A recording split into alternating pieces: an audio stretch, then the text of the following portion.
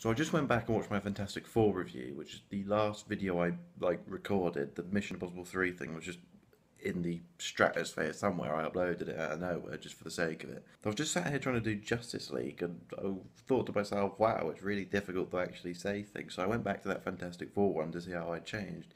And even though I do think that review is basically shit, what you'd be surprised how hard it is to actually just talk to a camera again after not doing it for two years. I feel basically inept. There's been a slight change of setup in the last two years, but I suppose we should just get on to Justice League now. Well, the the, the movie actually here for you. Justice League is the latest movie in the DC Extended Universe, a universe that since Man of Steel in 2013 has had a troubled history. Whilst I know I'm not the only one who thinks that, I do know that people do enjoy these movies more than I do. I'm, I'm not big up on them. I did like Wonder Woman quite a lot, but for the most part, not a fan. But I still go into these things with hope and optimism. I was really excited to see this even despite the previous track record because Wonder Woman actually was so good. And I'm glad I went because even though what I got was a bit messy to say the least, I actually did have a pretty good time with it. So the big bad in this one is a fella called Steppenwolf. He comes down on some magic carpet ride. He's a bit of a pusher, you know, something of a born to be wild type. So Steppenwolf wants these three Mother MacGuffins to take over the planet with, and Batman and Wonder Woman have to get together to form the Justice League and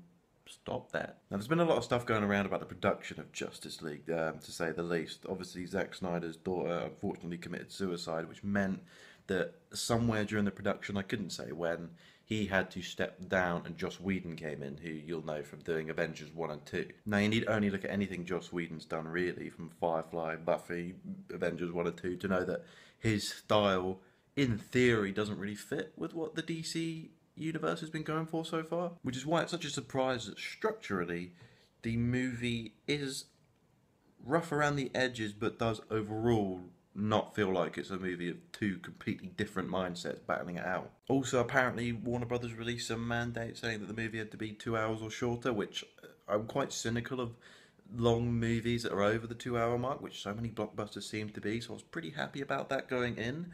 But coming out, I feel like this, more than any other of Zack Snyder's movies, could have benefited a lot from being longer. And I say that with cautious optimism because I'm sure there will be a director's cut on the DVD Blu ray release, and I will probably watch it, but I feel like when Zack Snyder gets too much reign and freedom, he goes a little bit too far. But in theory, this movie will benefit from that because this movie does a reasonable job, a reasonable one, at introducing each character, giving us stuff to like about them, giving us stuff to invest in, but it just can't do it in the runtime. There's only two members of the Justice League that actually have their own movie that's introduced their characters, which is Man of Steel and Wonder Woman. Let's not discuss Man of Steel. Batman, of course, got a lot of screen time and development in Batman v Superman, so you could argue he doesn't really need his own solo movie to introduce him.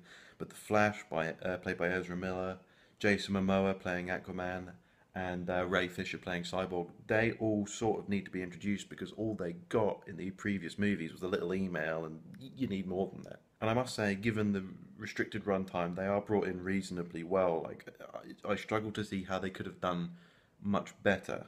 I'm not saying they couldn't have done better, but I'm just saying I personally don't know how they would have. It just seems so restricted, which is a shame because every member of the Justice League here is being well portrayed by each of the respective actors. Ben Affleck as Batman still doing a good job. I don't think there's anything that special about him, but I do think he's still doing a good job. Gal Gadot, while she is an actress that lacks depth in my opinion. She seems her, her, character sort of embodies Wonder Woman so well that it doesn't really matter. Ezra Miller's Flash is surprisingly funny, awkward, and likable all at the same time. Jason Momoa's Aquaman was actually a big surprise to me. In another movie, I feel like this type of character would have um, seriously gone to annoy me. But in this one, he actually works quite well, and there's a little bit more to him, and the way they reveal that is quite interesting as far as I'm concerned. The weak point will probably be Ray Fisher as Cyborg. I did like the character of Cyborg. I think there's a lot they can do with him, and I do think Ray Fisher was fine. I think he was good. I think he can definitely improve in the future. I don't feel like they've misplaced the casting there. The whole movie has this kind of choppiness to it, which doesn't work in its favour. Um, going between the scenes, especially in the first act, that just feels quite scatterbrained. There's there's not much linking them together. It feels very rushed once things have sort of been established for the second act, it sort of starts to come into its own a bit, but it's still sort of not quite there. And then we end up on a CGI crazy finale, which admittedly is better than what we've gotten in like Wonder Woman and uh, Batman Superman. There are points early on where it's sort of in danger of losing me because we weren't there wasn't much forward momentum. We were still just establishing, establishing, establishing, which unfortunately it had to be done. And this is what I mean by the two-hour runtime. You may say that would reduce the momentum, but it would mean that when we do get into the moving forward side of things, that it really meant something and it really did move forward drastically. And I think this movie really made the decision to prioritize establishing the heroes over establishing a villain because Steppenwolf is among the worst villains in all of these like superhero movies from both sides. He's just completely CGI. He looks like he's made of CGI. He's big. He's got a big axe hammer thing. Quite strong. He's got loads of flying bug things around him and they're not that strong. They're like putties from Power Rangers, but they, they fly.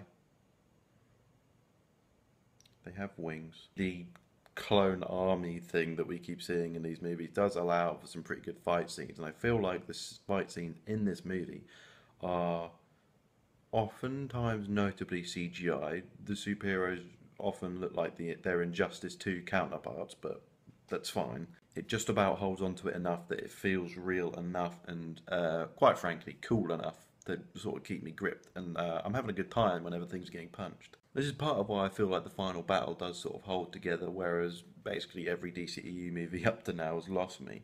Because there is, um, I hate to use the word, they're so cliched, but there's there is a chemistry between the members of the Justice League that I can't wait to see developed more um, in later movies. And their fighting styles are so different they contrast each other in a way that you pop to each character and you're seeing sort of a different style.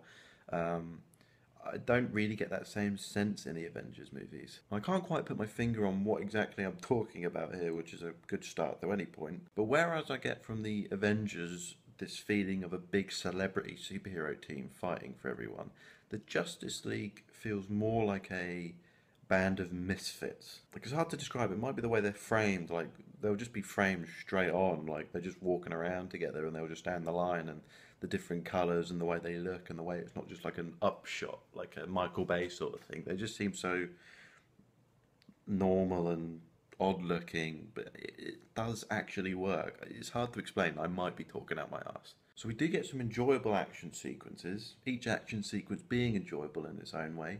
We get some pretty good comedy, um, nothing that really made me laugh out loud apart from a movie reference joke, but I probably just laughed to make people know I got the reference, to be honest with you. If I laugh, then people will think I got the reference. And if people think I got the reference, they'll think I watch more movies. And if people think I watch more movies, they'll think I'm inherently a better person than they are.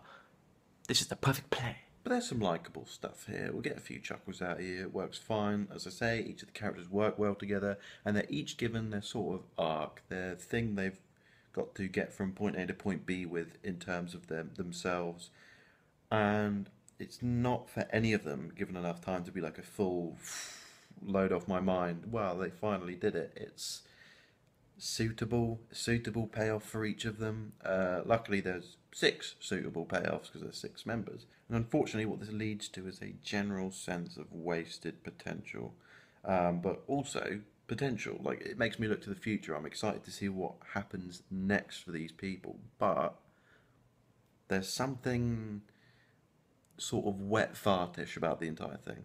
It all just sort of it doesn't come close to being great. It comes close to being good. There's just this purveying sense of yeah, you you didn't quite do it. So I think what this has done is gotten the characters out there. People are going to like the characters. If you're a DC fan, I don't know, I'm not a DC fan.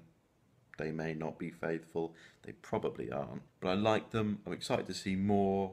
There's money to be made here, and I'm sure they're happy about that. I'm surprised at how bad of a villain Steppenwolf was. Like, he's really, truly terrible. But they made Aquaman quite good and compelling there's, they're doing something. There are a few moments near the end that nearly fully redeem it for me, and it's hard to give a score for this one because of my completely mixed feelings on the entire thing. But overall, I have to look at it and I just have to think, yeah, there's a lot of good here, but there's all there is a lot of bad, and I think anyone watching it is going to notice those things, and they just got to weigh them up in a way that they decide how much they enjoyed it. So that said, I am going to have to give it a 6 out of 10. I did enjoy quite a lot of it. I also didn't enjoy a lot of it. it I enjoy it in a very sort of flaccid way. Horrible way to put it. I don't feel like there's enough fun here for me to re-watch it again and not be bored by the setting up stuff. I feel like that only is going to work once. I will look forward to the director's cut. I'm getting on Blu-ray. I'll watch it. Maybe talk about it. But well, I'm not one of those comic book guys who can really throw together a thing like that. But who knows? Maybe. That was Justice League. This is me. If you're lucky, you'll never see me again.